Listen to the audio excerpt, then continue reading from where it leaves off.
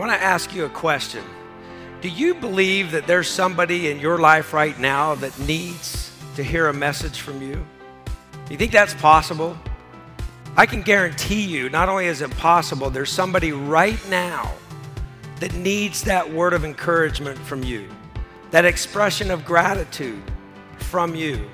Somebody that's made a difference in your life, and right now they're feeling a little bit down or a little bit out, and they need that message of hope from you.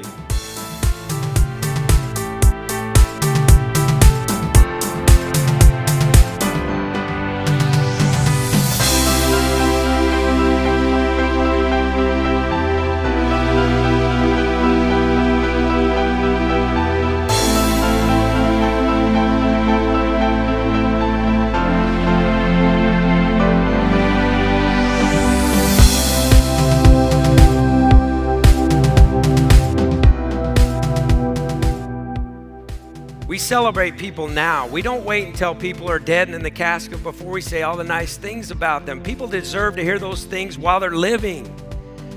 We don't forget birthdays and special occasions. We celebrate people on those days. When you have a prompting to reach out in kindness, reach out in kindness. When it's time for you to share appreciation or gratitude to somebody else, share it with them.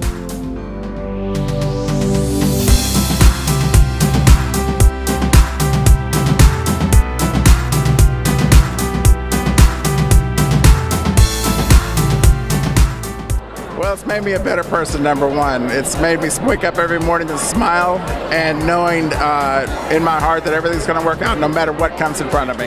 And so every day I'm thinking about one or two or three people and they stay in my mind, they stay in my heart for the rest of the day. So I'm taking it, I'm teaching it, and I'm living it every day by showing it and showing and expressing gratitude. Like sharing it with like 10,000 people. I mean, can you imagine what the world would be like if everybody did this challenge? Do you know? It's really motivating. I'm really excited about it. Absolutely. She loves the cards. And she took time out of her first morning when she was going for her chemo treatment to call me before she left for the doctor's office and put me on speakerphone with her and her husband to let me know how much she appreciated the card. And that just that just moves you spiritually. It's awesome.